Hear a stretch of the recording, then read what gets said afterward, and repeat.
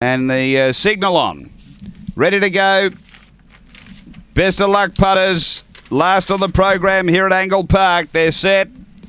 Away, uh, great line out. Speed from Oaks Boy's going to push on, grabs the lead, gets away. Oaks Boy clear. Daintree King follows through to second though. Three away, no through road. Four away, June Bug. Then Thunder Opal, Zenga Bale. Next, Lectra Bassett and out the back. Christie's Boy zipping through. Daintree King uh, took the lead, got clear from Oaks Boy. Uh, then no through road, but Daintree King's going on for a real good win. Uh, Daintree King first, no through road, maybe second, but it's in a photo with Zenga Bale and Oaks Boy. Uh, behind those came Junebugger. Next, Lectra Bassett. Christie's boy was back toward the tail. The time is 22 at 83.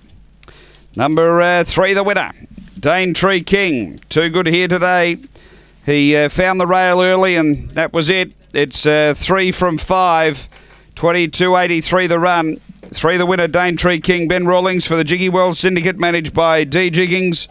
A fawn dog, November 2013. Bobby Boucher, Daintree Dream. Number three. Uh, second going to five, no through road. Uh, Tony Henriksen, a blank bitch, June 2013. Oaks Road, Tanashi Bale. And we stand by for third. The time here, 22 at 83 with a 10.19 first section. It's a dead heat for third between Four Oaks Boy and Seven Zenga Bale. It's a dead heat.